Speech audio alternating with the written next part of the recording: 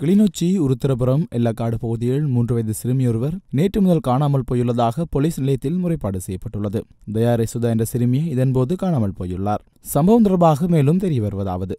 சிறுமியின் தயார் நீராட சென்றபோது குறித்த சிறுமியை வீட்டில் தனியாக விட்டு சென்றுள்ளதாகவும் திரும்பி வந்து பார்த்தபோது அவர் காணாமல் போயுள்ளமை கண்டறியப்பட்டுள்ளதாகவும் குறிப்பிடப்படுகிறது. அதன் பின்னரே போலீஸ் நிலையத்தில் இது முறைப்பாடு செய்யப்பட்டுள்ளதாகவும் சிறுமி கடத்தப்பட்டுள்ளாரா அல்லது வேறு அசம்பாவிதங்கள் எதுவும் நிகழ்ந்துள்ளனவா என்பது குறித்து தற்சமயம் விசாரணைகள் முன்னெடுக்கப்பட்டு வருவதாகவும் தெரிவிக்கப்படுகிறது.